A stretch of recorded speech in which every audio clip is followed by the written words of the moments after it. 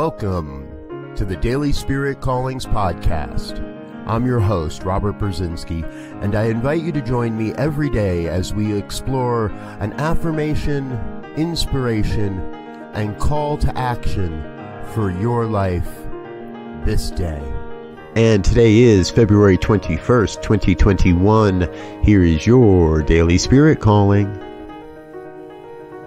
Today, I embrace the light. I am an expression of light. I embody the light of truth in all I think, say, and do. I let the light of God shine as my light throughout this day.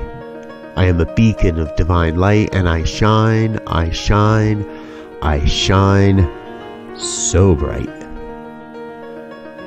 Even in moments of darkness, there is still light. Even as the shadows appear to grow, they are just as rapidly dissipated. In the darkest of moments, when it appears darkness has ruled the day, the light remains. The light still shines. There is nothing that can turn out the light. Today, you are called to embrace and celebrate the impermanence of the darkness. Let the shadows play their games as we celebrate the ever present light.